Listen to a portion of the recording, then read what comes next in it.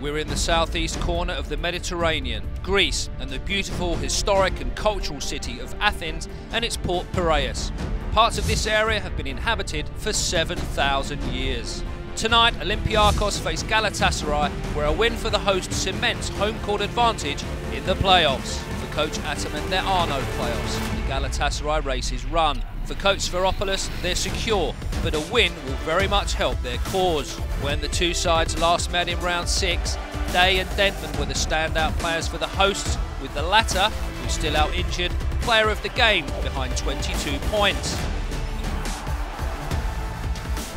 Sinan Güler dished 12 assists, and Galatasaray held their nerve to post the win by two points.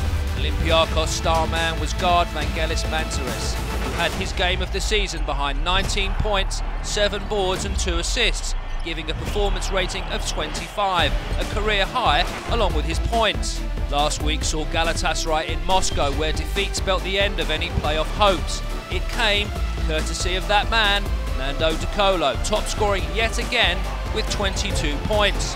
Vladimir Micov was the visitors' best performer with 18 points, but they were never in it after the first quarter, eventually down by 16 points.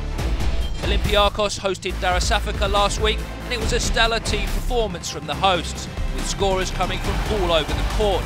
But the player of the game was Khem Birch with 13 points, 8 boards, and 2 crucial blocks, all helping to keep the rampaging Wanamaker and Clyburn at bay. So Olympiacos through and chasing down EuroLeague title number 4. Galatasaray playing for pride and a repeat win in this round 26 rematch. Can they surprise the hosts like they did Madrid two weeks ago? Welcome to the Peace and Friendship Stadium here in Athens. It's Olympiacos Piraeus versus Galatasaray Odeabank Istanbul.